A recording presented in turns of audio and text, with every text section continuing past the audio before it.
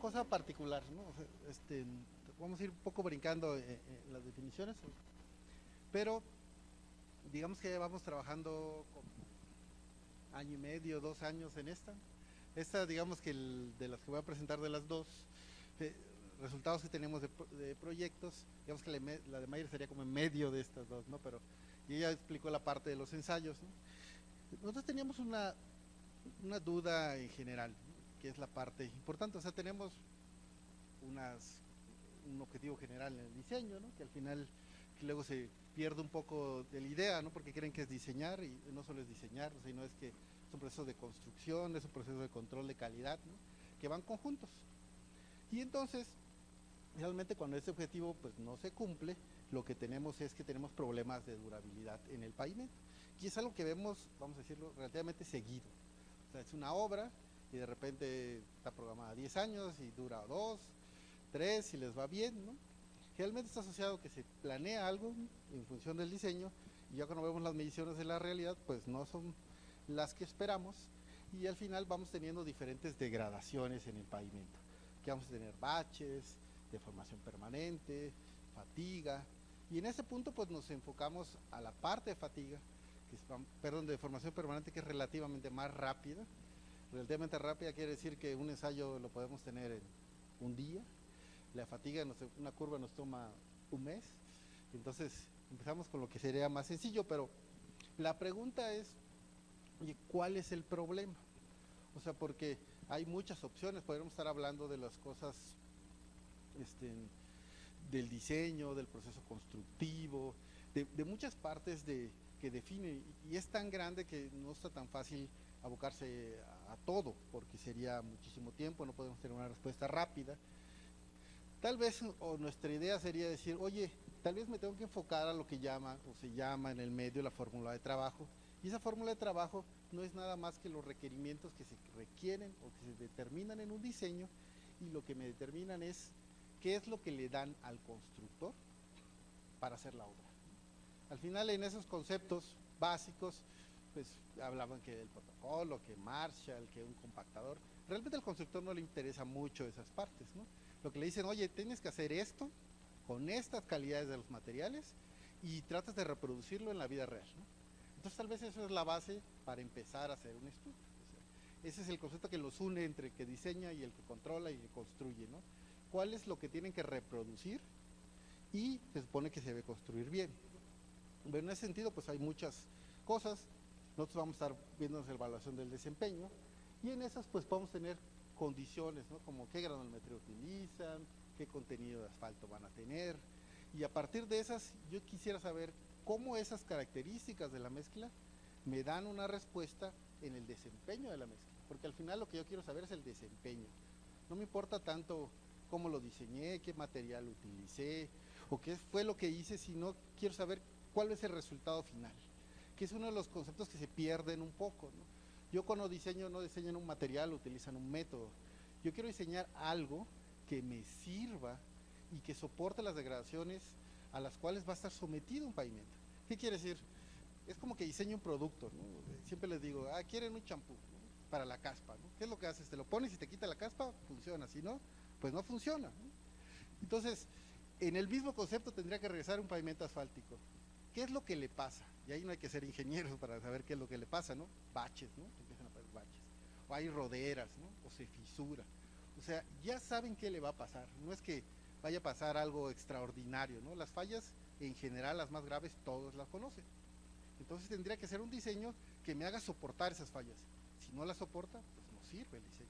Entonces lo que me da la evaluación de eso es cuál es los parámetros de desempeño. Y en eso es la deformación permanente, la fatiga, lo que más influye en estas condiciones. Bueno, este es un proyecto que hicimos este, previo al que, tiene Mayra, que es la primera parte. Y eso es decir, ¿cómo influyen esas características en el desempeño del material? Bueno, decías, yo quisiera ver las diferentes características. Digo, voy a hacer granulometrías. ¿Qué pasa si no sé diseñar una granulometría? Y hago una fina, una gruesa, porque es lo que hacen cuando hacen en una planta, ¿no? Alguien dice, esa es la estructura granulométrica, no sabe si es la buena y esa es. Y si la cambian o si no la controlan, ¿cómo afectaría el diseño? ¿O cómo afectaría una propiedad? Y en ese sentido, pues, tengo una granulometría que es un diseño que tenemos en el laboratorio de referencia, que sería el que puso Mayra que es de tres cuartos, esa es la que está puesta ahí.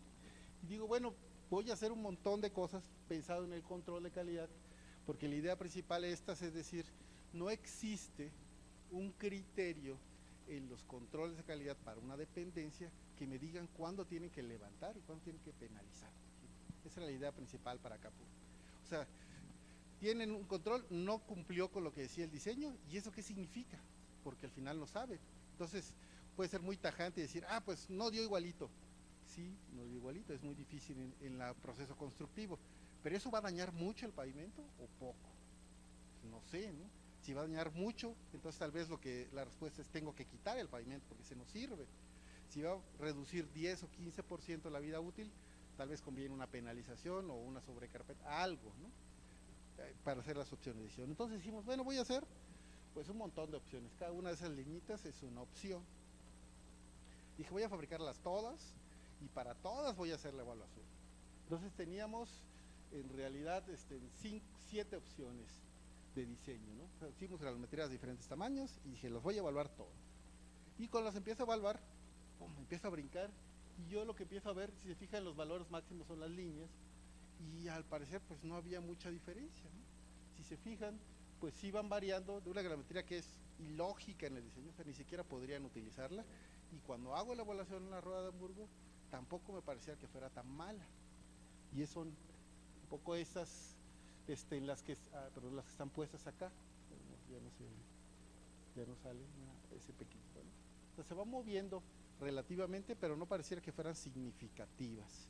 Digo, bueno, lo haría con el contenido de asfalto. El rango de contenido de asfalto en una obra es aproximadamente de punto 3, lo que le permiten variar. Dije, voy a hacerlo más, ¿no? No quiero punto 3. Voy a hacer más menos punto 3, más menos punto 5, más 1, más 2, cosas que ni siquiera son lógicas en una obra. Nadie le pondría 2% más en una obra, es muchísimo dinero, ¿no?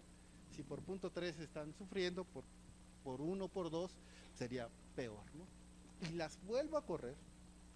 Y cuando las vuelvo a correr, vuelvo a ver que todas están pasando, sin importar lo que haga, la que ven peor es esa que brinca un poquito la café, y es por la que tiene menos asfalto, entonces cuando tenía tanto, tan poco asfalto, lo que pasaba era que se desgranaba, no lo podía mantener junto, pero en sí la probeta estaba funcionando.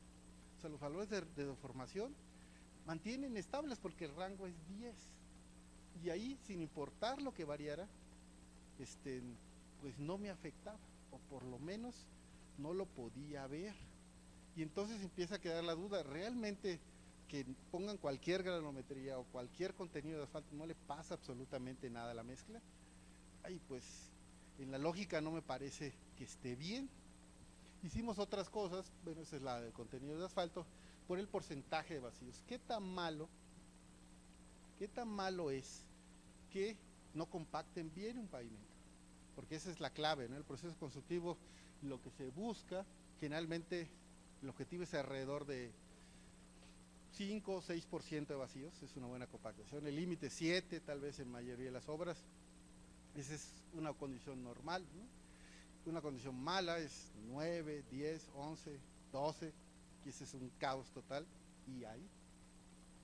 Y lo que vemos es que, bueno, cuando yo voy a un contenido de asfalto ya muy alto, alrededor de 10, 11%, yo ya empiezo a ver el efecto en el desempeño. Quiere decir que ahí sí, cuando compactan mal, el caos es terrible, ¿no? Tal vez es el efecto más importante en cuando yo diseño o yo estoy controlando un proceso constructivo de construcción de la carpeta. Esta es, ¿no? Bueno, aquí se ve cambiar el porcentaje de vacíos, o sea, que compacten mal, afecta mucho el desempeño. Y la otra es una condición muy básica, que es a qué temperatura debo compactar. ¿Y qué quiere decir? Se cree, o sea, que si llegas y compactas a 150 debe estar todo bien y realmente está todo bien. Pero algunos dicen, no, pues yo voy a llegar a 100 grados o a 90 grados la mezcla y voy a compactar igual. Y voy a compactar igual, pero solo que voy a utilizar equipo de compactación más pesado, más tiempo y al final voy a llegar a la misma densidad. La respuesta si es posible, sí es posible, pero lo que hacen es diferente.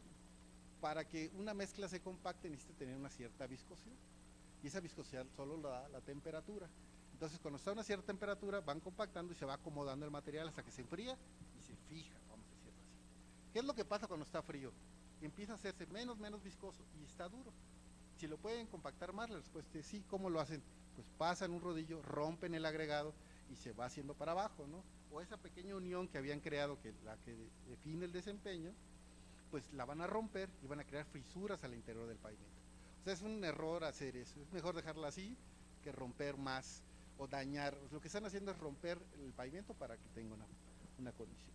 Lo que vimos igual es que, pues como los rangos, a partir de estar entre los 100, 95 grados de temperatura y compactar una probeta sin importar que les dé la misma densidad, va a dar un mal resultado. O sea, ya no se puede compactar si es un rango. ¿Qué es lo que me decían estos? Bueno, tengo un montón de resultados, así muy específico, pero lo que me quedaba o quedaba en estas condiciones es que una, los parámetros que son más agresivos, pues es, sin duda es qué también lo compactan y a qué temperatura lo compactan. Pero lo que empezamos a darnos cuenta, que fue la segunda versión en la evaluación que tiene Mayra, es decir, oye, pareciera que sin importar que le esté moviendo cosas, funciona. Entonces, ¿qué es lo que está mal? Está mal este, realmente lo que hacen en el pavimento, está mal cómo lo estamos evaluando, o tal vez no es tan representativo el ensayo para algunas condiciones. Si lo vieron, los resultados tenía tres cuartos y cambiaban a media y se hacían diferentes, ¿no? el hecho de cambiar la estructura generalmente lo que va a hacer es que cambie el desempeño del material. La pregunta es un molde con un cierto diámetro, un cierto espesor donde van las probetas. ¿No habrá una influencia de relación este, entre el tamaño máximo del agregado y el diámetro que hace que se trabe más el material y cree una pseudo resistencia mayor? Y es lo que estoy viendo ahí. O simplemente es el efecto de este, de esa buena estructura del material, que es lo que tenemos allá, un material muy bueno, que hace que pueda absorber la mayoría de los errores del proceso constructivo.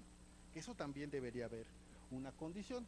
Entonces, lo que nosotros podemos decir o concluimos es, oye, si funciona el ensayo, eh, de cierto, desde el punto de vista del control de calidad, es bastante bueno. Quiere decir, cuando ves que el ensayo no está pasando, tienes un caos terrible en el país pero si está pasando, no te asegura que sea el desempeño que tú esperas.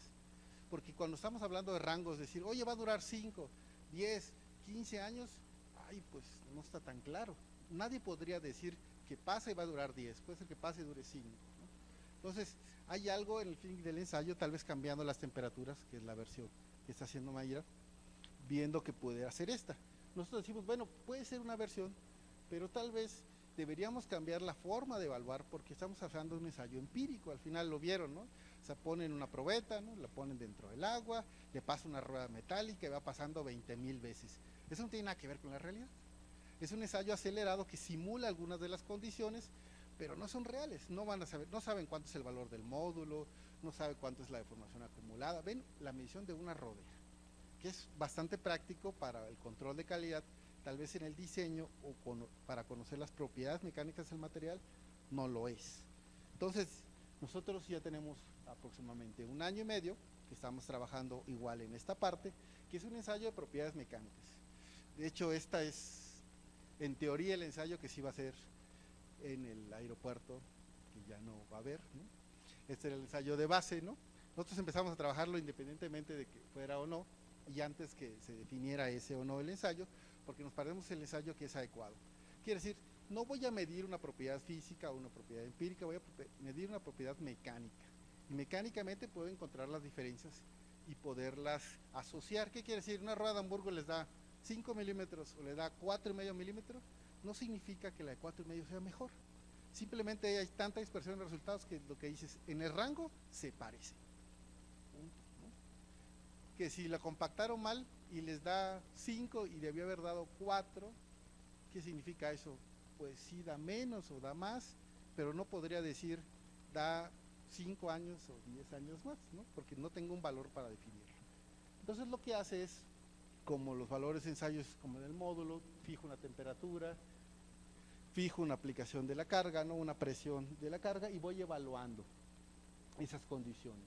Estos, por el tiempo hicimos la misma versión, si se acuerdan, decíamos que en, las de las En Rueda de Hamburgo teníamos 5 4 asfalto y 7 4, o sea, 2% el más alto. Y todo se veía igual. Hicimos las mismas probetas para esta misma condición y las probamos. Ah, no es igual. O sea, ven la, se ven completamente diferentes los desempeños. Mientras más alto esté, quiere decir que mayor deformación tiene esa mezcla. El ensayo anterior no me permitió verlo. Las deformaciones que me decían es que se movían alrededor de 2 milímetros, pero me decía siguiendo que me seguía diciendo que eso pasaba y funcionaba.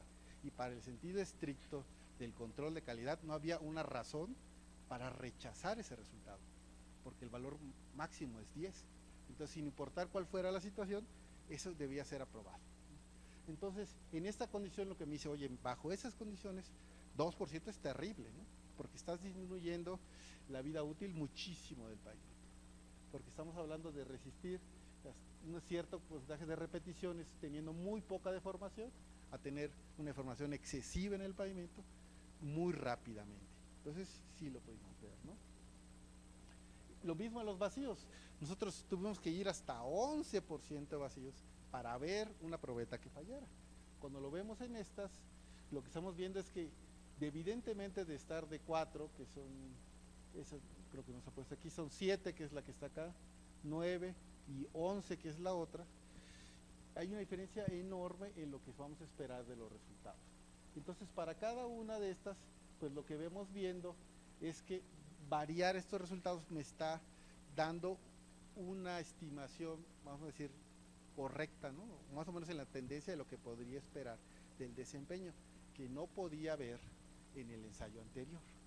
Entonces, a partir de esos resultados, pues las tendencias son dos, ¿no? Una, tal vez lo que estoy haciendo mal, porque es más caro pasarse este ensayo, es a qué temperatura le estoy evaluando y qué número de repeticiones de carga le debo aplicar en la rueda de Hamburgo para encontrar algo que sea adecuado al desempeño o tal vez simple y sencillamente para lo que decimos es si voy a tener una carretera de alto tránsito estamos hablando más de 30 millones de equivalentes, tal vez en el diseño no debes de utilizar la rueda de Hamburgo. Para el nivel de tránsito y el costo de esa obra, tienes que irte a un ensayo mecánico para estar seguro, seguro que lo que vas a poner está bien. ¿Y por qué es eso? Ahí ponían con un con un modificador. Este año lo que estamos corriendo es, quiero correr la prueba con cinco modificadores que hay en el mercado cuando los corre la rueda de Hamburgo ya sé qué pasa, todos me van a dar igual, pero no son iguales en el desempeño real de la mezcla. Entonces yo necesito demostrar que con ese ensayo no voy a poder diferenciar pequeñas variaciones en el comportamiento. Estamos hablando de variaciones de 10%, 15%, que a lo largo de la vida útil pueden ser significativas y ese es el costo de un polímero que venden que es tan caro. Yo quiero saber exactamente si es mejor uno que otro y el ensayo no me lo permite para esas condiciones, vamos a decir, de alto desempeño, ¿no? Porque se, vamos a decir que se bloquean en cierto punto. Entonces, todo lo que estamos pensando es que sí, tal vez para menos de 30 millones, algo común, podemos seguir utilizando la red. Para más de 30, pues tal vez tenemos que pasarnos un ensayo mecánico de las evaluaciones, pero también estamos viendo la posibilidad de, seguir en esta parte y demostrar que cambiando las condiciones en las cuales hacemos el ensayo, posiblemente podríamos acercarnos más a lo que me dice un valor mecánico. Y ese es un juego, porque piénsenlo desde otro punto de vista. ¿Cómo están puestas? Está para una temperatura y para un cierto número de ciclos. Las normas americanas, por ejemplo, la de, ¿qué será? La de Texas, ¿no? Dice que va subiendo 5 grados cada vez que vas cambiando del grado PG, ¿no? O sea, vas haciendo más modificado el asfalto, lo tienes que probar a diferentes temperaturas y entonces si lo sigo probando a temperatura baja, pues no me permite ver, vamos a decir, los beneficios del material, que es lo que, estábamos evaluando en esa parte. E, esa es, es, parte de estas, y, la otra, como decía Mayra, esperamos poder hacer con un material malo, relativamente malo, por decirlo así, porque cuando hablamos de una caliza del sureste, pues podríamos hablar que no es muy bueno, pero es el que se tiene que utilizar, porque no hay otro, ¿no? Entonces tal vez tenemos que estimar cuáles son las propiedades de ese material y para saber cuánto podría afectar el desempeño y crear pues como una base de datos para llegar a ese punto. Bueno, ya me iba más rápido porque me no mi tiempo, pero ahí está.